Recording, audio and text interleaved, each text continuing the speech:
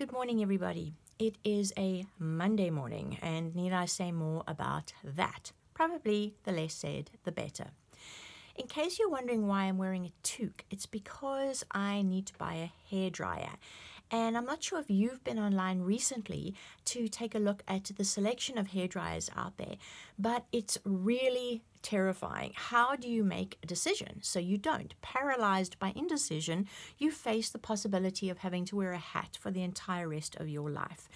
Uh, so that is not actually the topic of Writer for a Year today. Writer for a Year today is about which organizations to join and how to find community because the writing world has been called by everybody a very lonely experience, and it is a very difficult, lonely experience. But what can be even more difficult is trying to find your community and then struggling because the writing world is like anything in life. It's it's a massive big playground and there'll be groups of people who will invite you into their group and then there are other groups of people who mm, no, we'll close close the doors. So what you need to do is just try and keep forging on until you find that writing community where you fit and where you're happy and where your work is encouraged.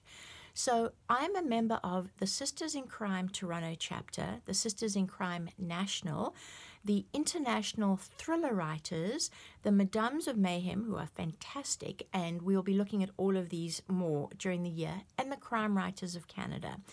And today I have a blog post that's going to be appearing on the with the international thriller writers that I'm really really happy about. I mean that's a good example of a good day in a writing world where you know your blog goes up and hopefully people like it, read it, comment about it, and that makes you you feel like actually you are doing something that does exist in in the real world. I also looked at joining the Toronto Romance Writers. I've attended a few of their workshops and I love the work that they do. So I said to my husband, So my work is romance, right? And he's like, no, your work is not romance. So then I asked my publisher, so I've got elements of romance in my work, don't I? She's like, no. Now, to my mind, revenge, isn't revenge romance in a certain sense? Anyway, never mind. So I realized, okay, so I don't write romance. And so I haven't as yet joined the Toronto Romance Writers.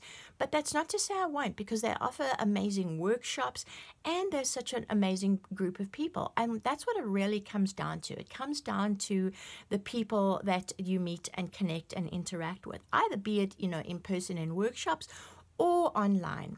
And so those are my pithy insights and words of wisdom for today. And now I'm going to really tackle the rage room and uh, hopefully I will have some fun there. And I hope that everybody will have a fantastic Monday and find yourself somebody to hug because uh, it's a grey Monday. Okay, thank you. Bye.